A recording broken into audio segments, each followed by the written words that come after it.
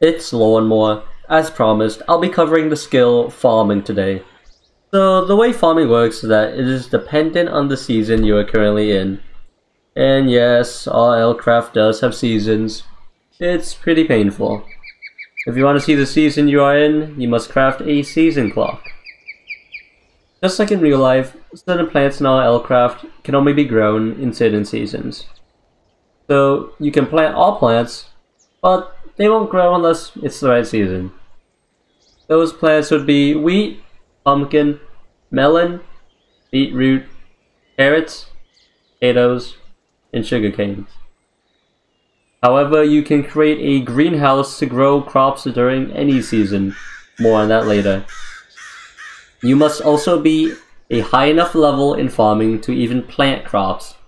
It starts with level 2 farming to plant wheat, and ends with level 8 farming to plant trees.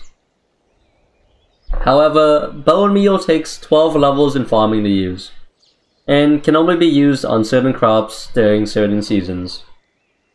Otherwise, creating a farm is the same as in normal vanilla Minecraft. Once the crops are fully grown, they will yield both the resources and XP, although some plants do not give you any XP. So, it's a rather safe choice to farm levels.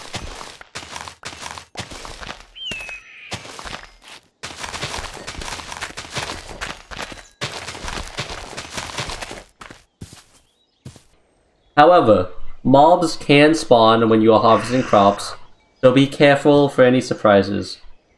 There are three skills in farming, and they would be Wheat Aplenty, Green Thumb, and Hungry Farmer, as well as two farming specialization choices. Those being Green Thumb, no relation to the previous one, and Harvest Efficiency. As stated previously, we will discuss how greenhouses work. So, for a greenhouse to work, you must place greenhouse glass within 7 blocks above a crop. There's a little more complicated things about farming, but that would be the basics. In the next guide, I'll be talking about agility.